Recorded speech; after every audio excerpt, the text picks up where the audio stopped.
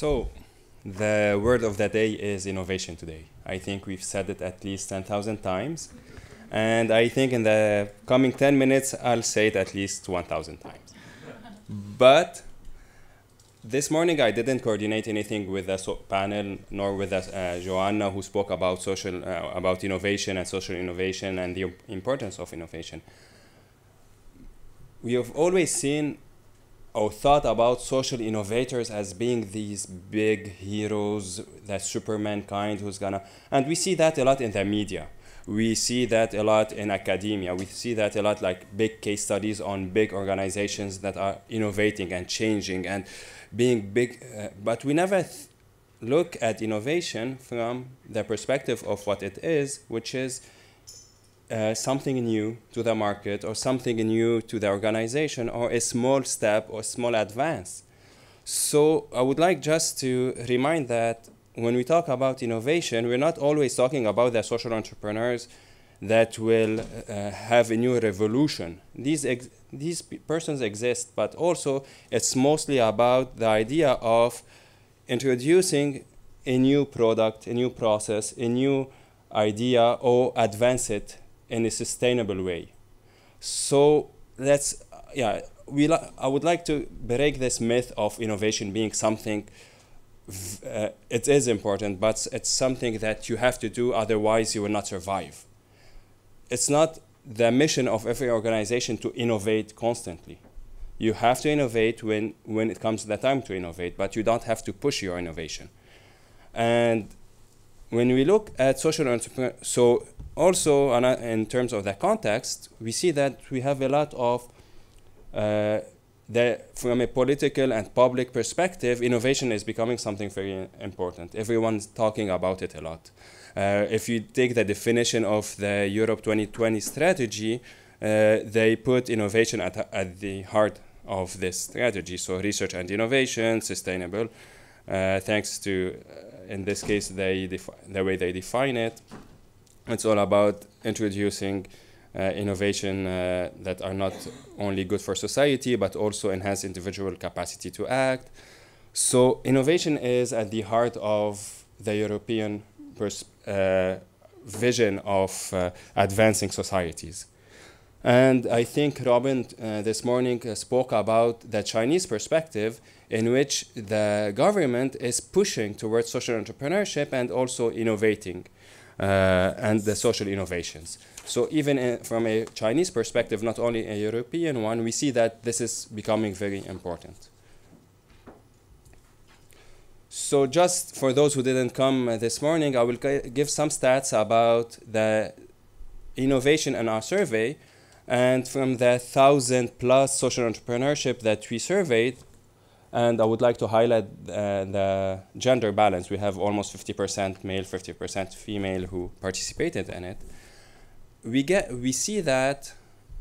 So, so yeah, just a second. I will. I wanted to.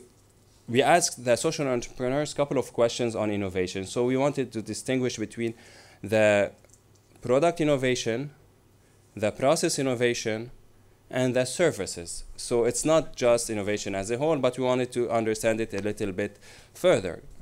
Also, we wanted to know how important was this innovation to the social enterprise, the impact of this innovation in terms of its how much did it cost, the social impact it had, uh, how new it is, and who collaborated to this innovation.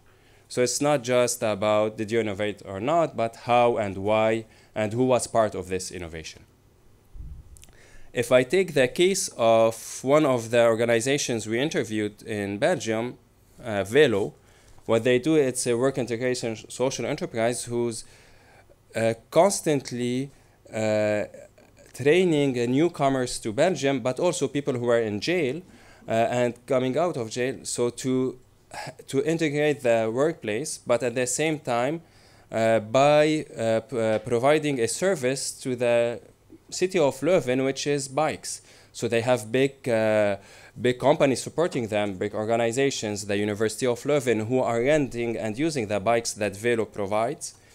But at the same time, we, they constantly look for new niches, new markets, new people, new ways to to scale because for them there is so much demand that from the work integration perspective, but also to stay sustainable and to be able to have to pay at the end, well, the big amount uh, that they have in terms of uh, new employees and trainings and stuff that they need to constantly uh, innovate. And when we talk to them, they were always saying that we introduced a new product, which is uh, we introduce a new service, we introduce, and they are constantly running after new innovations, new things to survive. So, so you have these organizations that are innovating as a survival mode and not just because they have this new idea that will have a positive social impact. And these types of innovations are important also to, to keep in mind because you don't always innovate, and we, we like to think that we innovate because we want to change things. But sometimes we innovate because we want to survive and to find new sources of financing. So, um, one of the most interesting statistics, and we saw it a little bit with Ute this morning, is that the when we asked social entrepreneurs if they innovated, we saw that between 67 and 97 percent of entrepreneurs we interviewed said that they innovated. If we compare this number to, for instance, in Europe, to commercial entrepreneurs, usually it's like for 50% who innovate. So we're, see, we're, saying, we're seeing that social entrepreneurs believe that they are much more innovative than commercial entrepreneurs. And this is an interesting question. Why do what's so new, what's so innovative about the way they uh, they innovate, and why why are they more innovative? And I think that in the discussion, this is what I would like to hear a bit: is that how come social entrepreneurs think of themselves as being so innovative and uh, much well almost one third more than commercial their commercial uh, counterparts. Um, Another also uh, interesting statistic is when we get to the percentage among those social entrepreneurs that had introduced an innovation in the past year, those who had a radical innovation, so completely a new product, a new service to the market. And we see also a very high number of in, uh, social entrepreneurs who say that they, for, of those who innovated, that they had some kind of uh, radical innovation, and these plays between 50% up to 82% for Portugal, which is also very high compared to other uh, to commercial uh, entrepreneurs. So what is so special about social entrepreneurs that they bring all this new uh, new uh, innovations in terms of product services or or processes in terms of uh, innovation. So uh, sometimes you have, yeah, it's easy to see radical innovations as we, if we look at uh, an organization in the UK, such as uh, Again, who will take, uh, who wants to erad eradicate textile waste. So they are investing a lot in research and development to use this waste into new products. So yeah, we can see that, but this is not every social entrepreneur who does such radical innovations. So how come social entrepreneurs see themselves uh, as innovators and why do they do so much so much innovation? This is these are some of the questions that I would like to highlight today. And most importantly, because this is the theme of the uh, the conference today is the idea of challenges. What are the challenges that social entrepreneurs face? And uh, we see that 44% of social entrepreneurs replied that it's related to economics, so the financing. And 17% say that it's organizational, so it's that time we don't have the human capital, we don't have the organizational capital in place to be able to innovate properly or these are challenges in terms of uh, innovation. Then we see that some of them, uh, uh, another type of uh, challenge is the market. So uh, we don't know about the demand, or we have the market is dominated by big players who are traditional uh, commercial entrepreneurs or the public sector. So we see that it's not easy to enter this market and 8% and uh, also you have 16% who say that it's in terms of uh, regulations that we have to follow, legal forms uh, to meet the international regulations such as the EU and, and other among other things.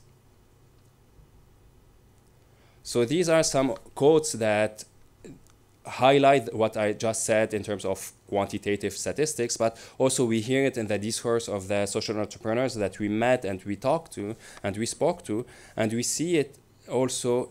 It's you have to take it in context. If I take, for instance, the last one, uh, from a European perspective, you see that the legal is not always playing in favor of social entrepreneurs, uh, so we have a social entrepreneur in Belgium who said something that makes that makes it hard for us at the moment is the European legislation about subsidies that are admitted from Europe uh, to companies. So the called de minimis norm, which limits uh, to $200,000 for five years.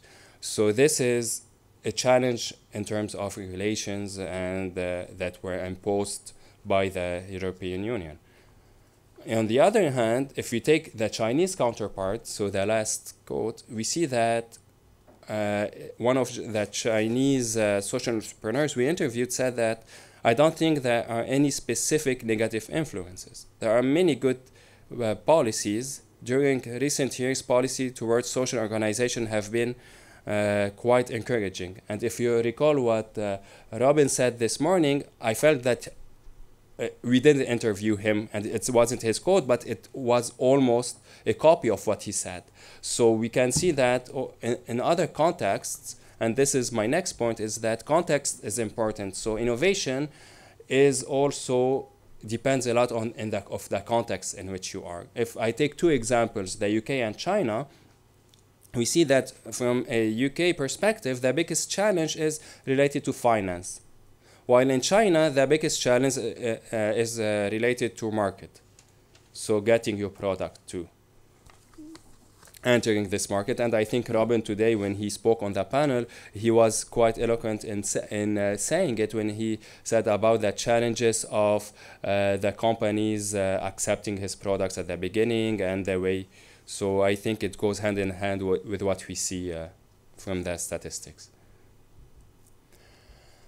My final point, and this is my uh, an example that I like to cite is Via Via Cafe in Belgium, in which we see that we usually, when we think about innovation, we always think that we have to wait to have a perfect product and then to launch it to the market and to and we cannot to uh, but from via via what we learn is that instead of waiting always for the perfect product perfect model and then replicate it well, Via Via, what they does is to experiment. So every year they opened a new cafe, so which is a social. So Via Via is a social enterprise in Belgium that started in Belgium, and they do tons of activities and tons of. Uh, so they use local products. They have dorms that train the employees. They give they give shares uh, to their employees in the hotels they open. They they have a sustainable uh, travel agency. They have they do lots of organic and local farming and so on. And what you see with Via Via is that every year since 1995 they opened a new Via Via. So the first one was in, in, was in Belgium, the second one was in Indonesia, then they went to Senegal, then went, they went back to Belgium and so on for 20 years. And out of the 20 Via Via that opened, 16 are still running today and doing well. So and when we speak and we spoke uh, quite a lot with the founding uh, the person who founded via via he told us well his secret is two things one to experiment and two to adapt to the local context. So he doesn't impose his via via model to any of the countries. Instead he, he looks at what they want what they are looking for what are the needs of the local communities and then the via via uh, is uh, is done well is adapted to this local market. So these are, I think, this goes a bit also hand in hand with what Joanna was saying this morning in, in terms of experiment, experimentation, where innovation also is experimentation. And innovation is not uh, an objective in itself, but it's a means to get to a sustainable development and uh, having a social impact. So this is a bit what I wanted to say today. And I think I will invite now Inti uh, to have his reflections. And as you could see, I didn't stress much on the technological and the technological part since uh, in innovation we talk a lot about technology and what technology can bring because I think Indy is much has the experience and it's his focus so I will leave it to him.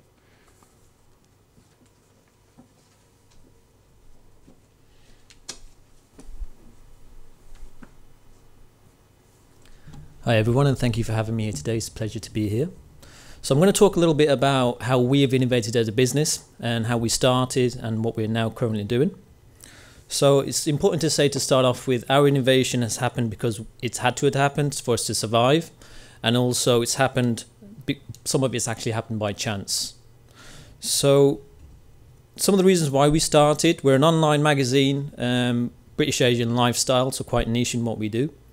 And when we initially started to have a look online at the other organizations, other businesses, uh, other establishments that were in our space, there was very little content around British Asian lifestyle that we could find online in particular. Um, so we knew straight away there was a quite a, a, niche segmentation of the market that we could take from that.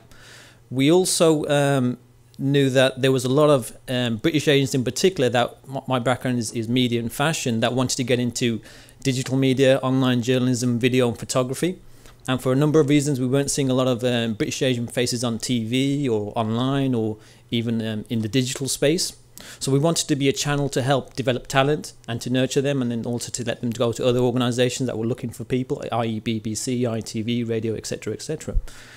Um, we also had to do uh, initially a lot of um, changing of mindset. So when we started to have a look at the content, we started to put together an, an online magazine. We noticed that a lot of PR agencies that were particularly focusing on British Asian lifestyle content in particular were sending out lots of press releases, and other online magazines were just taking those and copying and pasting them, putting them straight out. What they weren't actually doing was monetizing that, so they weren't actually looking at how they could innovate and how they could actually draw some funds from from those PR agencies. Um, so what we decided to do was was quite radical because we thought actually we're not going to do that. We're just going to carry on doing and focusing on content that we know is missing. And a lot of that was around taboo, around um, taboo things within the Asian community. So things like uh, sex before marriage or domestic violence within the Asian community and lots of those kind of hard hitting issues. We also done all the light stuff like the fashion, the food, the health and beauty, arts and culture. Um, so as we started to do that, PR agencies started to notice us and actually these guys, we've sent them a press release and they haven't put it out. So they send it to us again, and we, again we wouldn't put it out. And then we'd start getting phone calls saying, "Listen, we've sent you three or four press releases. Everyone else is putting them out. You guys ain't doing it. What what's going on here?" And we were like, "Well, yeah, that's because you haven't paid us for that press release." and they were a bit taken back by that because they're like, "Well, actually, you, you guys are no one else is doing that, and you're you're kind of a new you know new into the market." Anyway, that continued for about six or seven years before they actually started to now pay us for those press releases because what we did we actually changed that whole mindset of that of that online community especially within the british asian um, forte itself to say actually you can you can actually start getting paid for this content. And i think that's what's really held a lot of those online niche magazines back.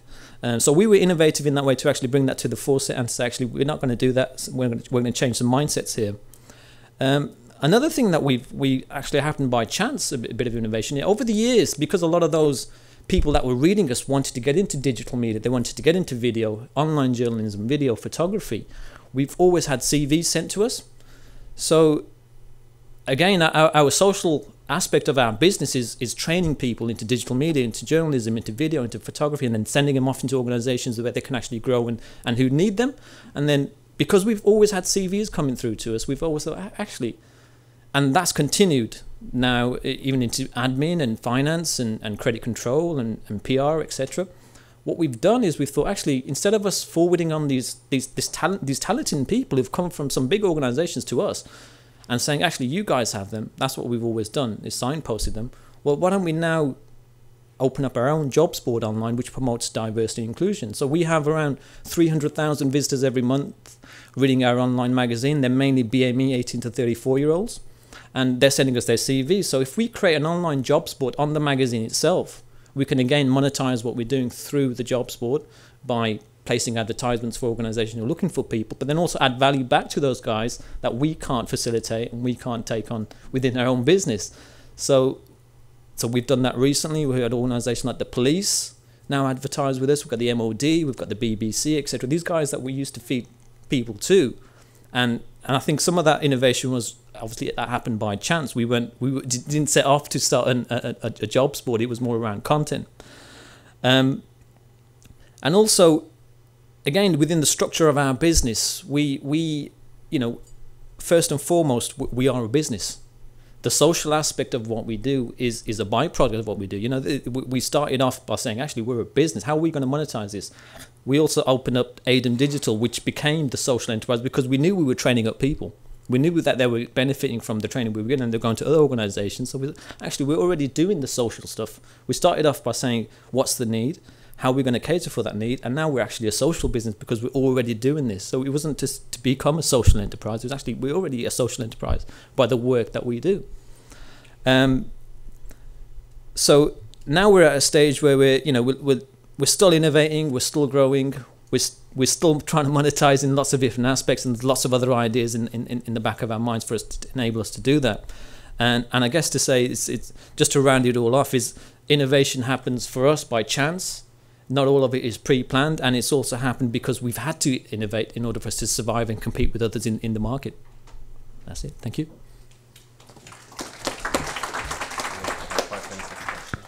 So um, we've got a couple of minutes for question and answers so uh, any questions from from the room yeah i've just got one question we heard a lot about innovation and um, complicated things like that um, now I just wonder what um, aspect creativity has in terms of innovation, because in a conventional organisation, you're bound by lots of rules and regulations about what you can and what you can't do. Whereas in a social enterprise, is that a bit more freer environment? Hello. Yeah. So I guess it is. It is for for us. We've never really focused on. I know we had a conversation on the table about boards, um, and we've never said actually we've got an official board. So we, you know, for us, it's never been about constraints around what we can or can't do. We look at ourselves as, as a normal business, as a business that any other business is. It just so happens that we have a social aspect to what we do. So I guess it's never held us back as a business just, just because we're, we're a CIC social enterprise. So I don't think there really are any constraints that we, we would focus on, if that answers your question. Any, any other questions? Over there, yeah. Yeah. Um, there, I feel a slight disconnect uh, with where we started with Joanna, really with innovation being so difficult to do. And later on this afternoon, we, we find that, that so many of the social enterprise are not just innovative, but radically innovative. Um, and obviously, you know, um, the, the examples we've seen here are really very impressive and, and clearly very innovative. But I'm, I'm just raising some questions about it, it's a self-reporting methodology, I guess, and whether the, there might be some institutional factors that might lead to an over-reporting of particularly the radical uh, element of innovation, which seems also very high. Thank you. Apparently, I'm taking that question. So I think um, there's two answers to that. The first is that what we use basically is the methodology that's been developed for the community innovation surveys for the European Commission. They're based on the Oslo manual. So these questions have been extensively tested in all sorts of contexts. They're regularly used throughout the European Union. And so we chose them deliberately to make sure that we have a comparison standard. So if the comparison inflated, even if the comparison is inflated, it's still valid. I think that the social enterprises uh, innovate more, think, uh, well, they, they may think of themselves as more innovative, but the way the questions are phrased, it really is about actually introducing and changing existing products, processes, and services. So it's very uh, behavioral bound, and so you would expect less of an inflation in there. And then when they report on whether it's radical, it's not that we are asking them, "Do you think this is a radical innovation or a great innovation?" I'm sure they would say yes to that. Um, would be pity if they weren't. But we're actually asking them, "Is this new to your organization, and is it also new to the market you're operating in?" So it's again a bit more descriptive. So I cannot exclude that there might be some in inflation, but I do have faith in the questions because they've been largely pre-tested, and also because the way they ask is very very specific about behavior, which tends to be less susceptible to these self-report biases.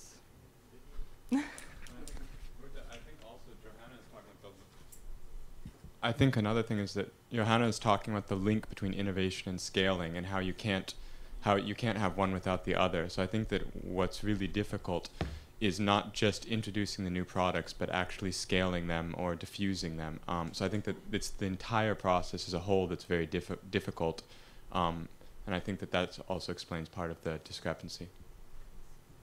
There's another question over there. Last question. Last question.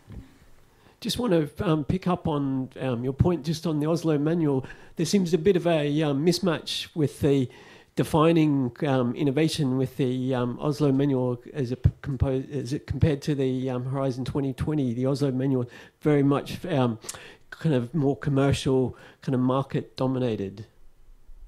So we are not saying that we're measuring social innovation. We're measuring innovation in social enterprises, some of which is social, some of which is maybe, uh, um, I'm not going to say just improving processes or existing products or services, but these still apply to social enterprises because they're trading in the marketplace. They offer services, they offer products. And so improving those and, and offering new services or products or maybe becoming better in terms of business processes is still essential to social enterprises. So we're, we're looking at innovation, and part of it is social innovation. Does that make sense?